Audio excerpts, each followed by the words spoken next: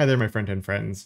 Writing JavaScript to do things that are like styling related has always felt a little bit strange to me. There's stuff JavaScript should do, but whenever it just comes to styling only, then it seems like CSS should be enough to do the job. And luckily, as CSS is maturing as a language and we're getting a lot of new features, there's new stuff that is opening up, like creating a button like this one that's directionally aware, or at least a little bit directionally aware, uh, that we can do with basically CSS only. There's a few little tricks in getting it done. And while we are going to have to leverage a newer CSS feature that actually has better browser support than you probably think it does, it also doesn't ruin the experience for people who have an older browser. So if you're curious about how we can build that, then let's dive right into VS Code here.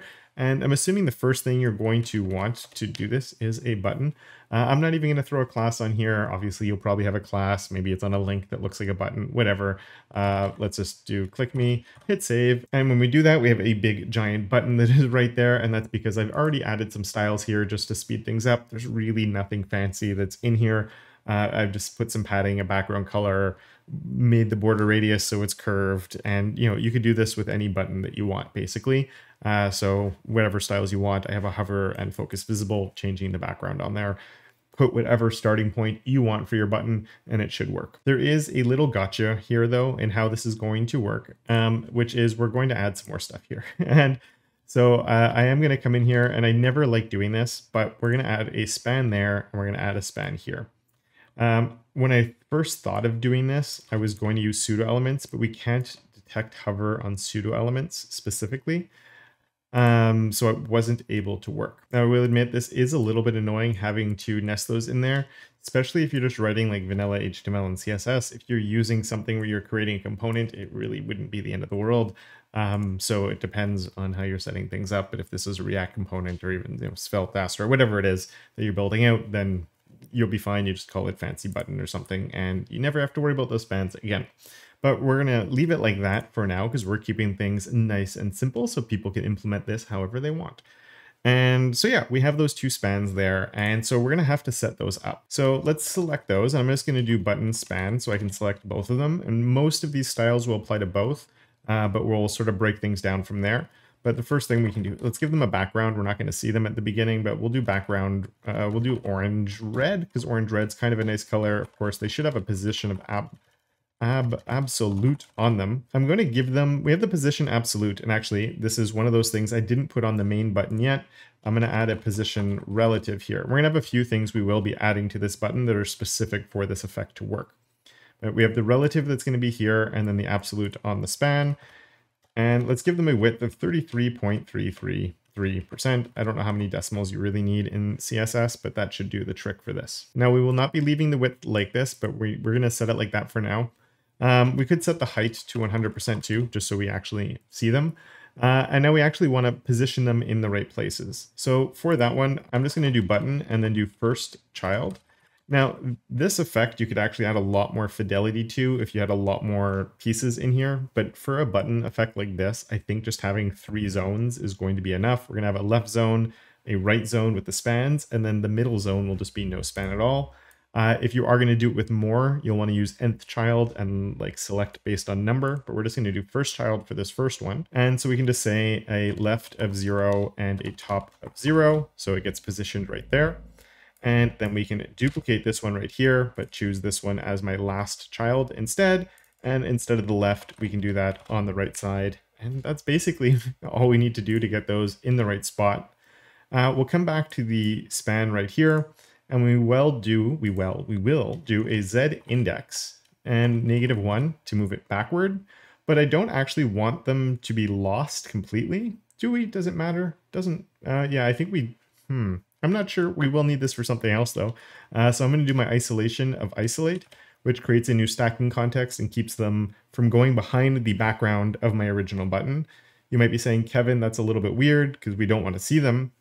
We are going to change the color of these. Um, I'm going to drop the opacity for now just so they're not so bad. But we will uh, eventually be making them completely transparent anyway, so you're not going to see them. The other thing this makes us realize is right now they're sticking out the sides. We will have to turn an overflow hidden onto the button itself, but I'm going to do that a little bit later just because having the overflow on there is going to help everything make sense um, on how it's working, and then we'll sort of do the last steps at the end to turn off all of those things. So now is the real trick. And I actually shared this on the community post earlier and everyone assumed I use pseudo elements, I guess because they know me. Um, but we're only going to use one of them and it's going to be for what creates that effect right there. So we're going to say on the before, let's give it a width. Um, the width on this, actually it's a before, before we do the width, we'll give it content so it exists. Mean, we'll give it a position absolute because we need to be able to move it around and it has to be like whatever. It needs to be absolute, so it's out of the flow. Uh, I'm going to give this one a background of hot pink. So once we start giving it size, we'll actually be able to see it. And I'm going to give this a width of 10%. I obviously went with like a gigantic font size on here, uh, but hopefully by this being a percentage, it just means that it would work no matter what size you end up setting things to. Uh, the only thing that's really important with the width here is that it's smaller than the entire button because it's going to make it a lot easier to center. Uh, and the reason for that, first, let's give this an aspect ratio of 1, which just means the height and width are the same. And let's give that a border radius of 50%, so it is a circle. And I want it to be dead centered inside my button. So to be able to do that, the easiest thing to do is an inset of zero, which means top, bottom, left, and right of zero, and a margin of auto, and it's going to go right in the middle. If we had our circle being bigger and then we were trying to do different things to shrink it down, that sort of doesn't work. But this is just, if you're using position absolute or fixed, inset zero, margin auto, it's centered. Uh, you don't need that weird translate hack to actually get things to go um, always super handy to be able to do that. Now, just like those other, you know, these transparent things that will be coming, our, our spans on the edges, I should be saying, um, just like those, we do want them to be behind. I don't want this to actually cover the text. So on here, I will also give this a z index, z index of negative one, just so it's behind the text itself. It's more of a background effect, not something that's going to be at the forefront. And now is actually where the magic happens. We have everything set up to act, create what we need to happen here. Um, so what we're going to do is let's do it just so it works out of the middle and then we'll get it working for the two sides. And so to do that, it's actually the easiest one. We're just going to say button active and we can choose the before. And so when, and active means like we're actually clicking on it. So this would work on a phone too. It's not just a hover effect, right? Um, so the active before means when the button is active, the before will do something. And so when the button is active, the before is going to get a scale, and we're just going to scale it up. So we'll do that as a transform. We could do scale as its own property now as well, but we'll scale this up. And the important thing is that it ends up being big enough because like a lot of the time we do a scale two or something, but it's only twice as big. So you just want to make sure this is a big enough number. And I'm actually going to make it a really big number, which might seem a little bit like overkill. Maybe we could actually shrink that one down a little bit.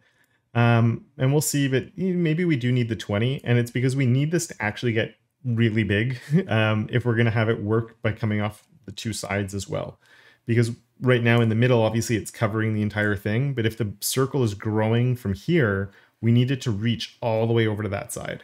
But before we worry about that, let's just come here and do a transition of the before. We'll do scale for now. So the scale, um, or not scale, transform, I should say, transform. And let's just say 500 milliseconds. So we actually have something. So when we click, it grows, we let go, it shrinks. Nice and simple, right? Um, let's change this color now. And I already have this color right here. Again, use a color that works for you. It's just a dark blue color that I'm using. And for now, actually, let's come and change these spans to be transparent. Um, and I guess if we didn't even declare anything on there, it would be fine, but it's just kind of ugly. So now we'll turn them back on um, if we need them, but when I click, it gets really big. When I let go, it gets really small.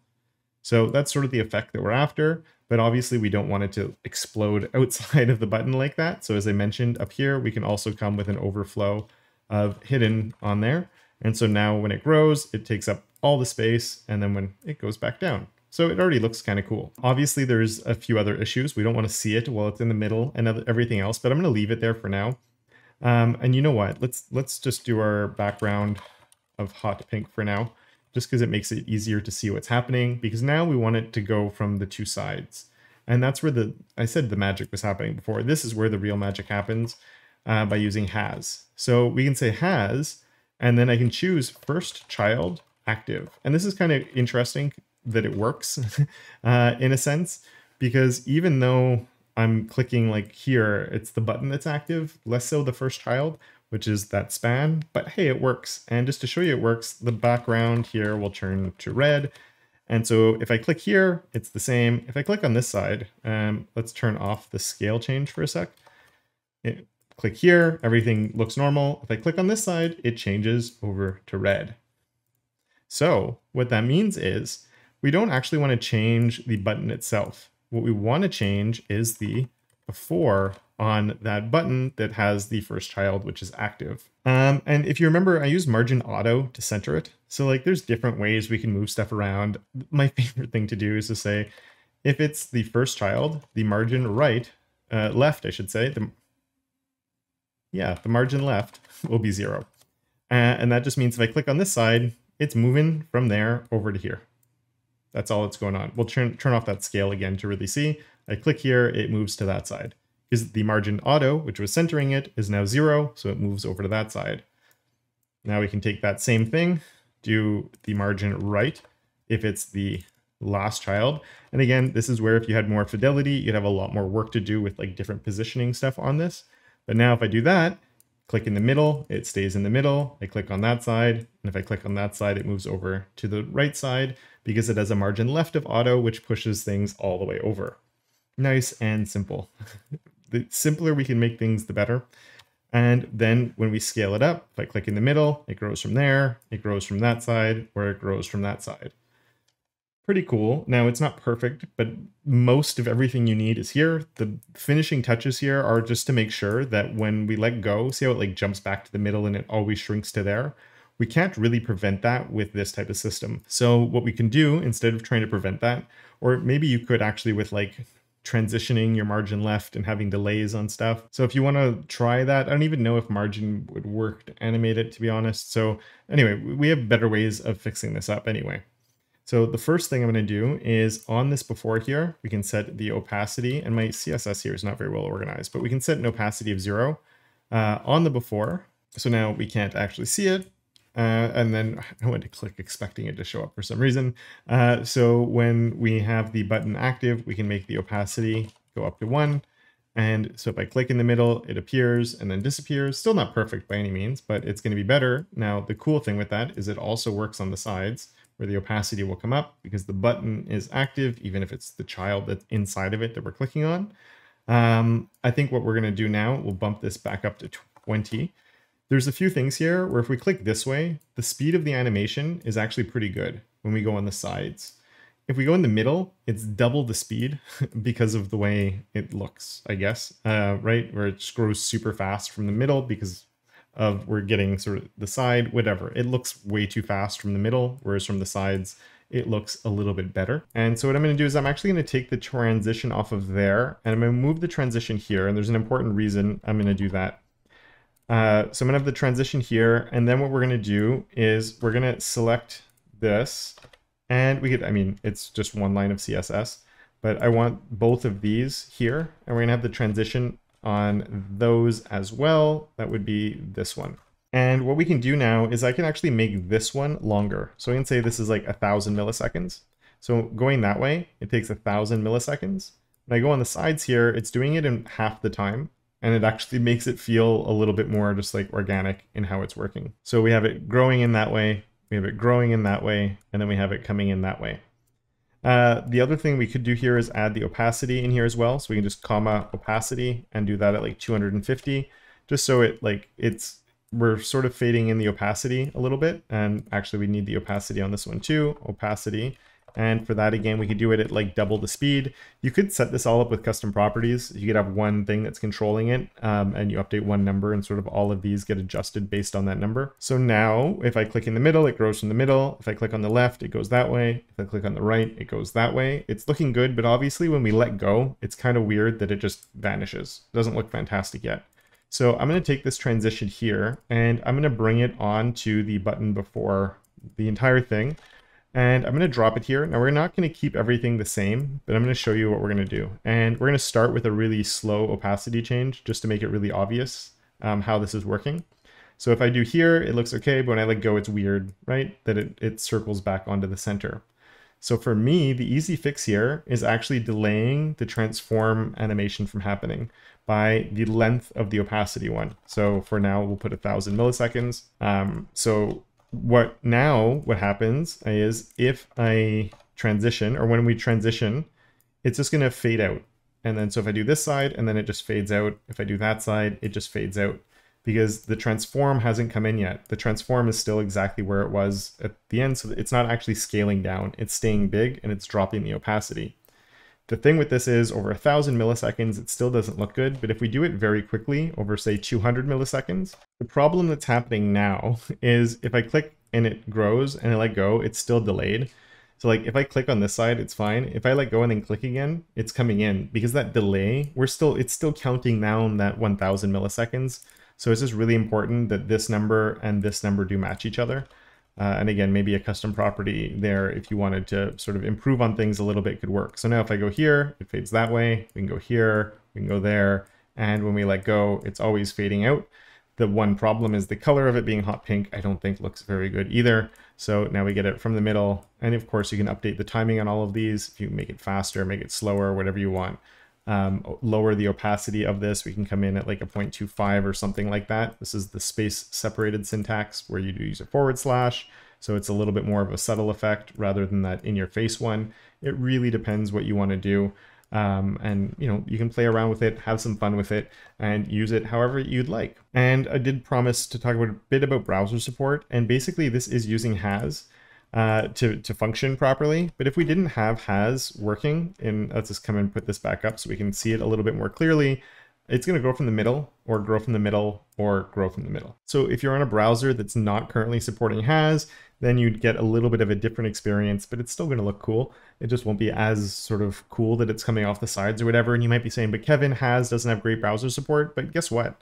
Uh, that's not bad. uh, we're only waiting on Firefox really at this point, and obviously for some older um, browsers that it will never be supported in, namely in Safari on old iPhones and stuff. But it's already past 86%. So using it for progressive enhancement like this, I think is a pretty good use case of using something like this, where you're not actually ruining the experience of anyone. And if this is your first experience in seeing Has and you'd like to know more about it and some of the stuff it can do and a bit more to understand how it's really working, I have a video right here where I break it all down and look at a few cool examples. And with that, I would like to thank my enablers of awesome Enrico, Michael, Simon, Tim, and Johnny, as well as all my other patrons for their monthly support. And of course, until next time, don't forget to make your corner on the internet just a little bit more awesome.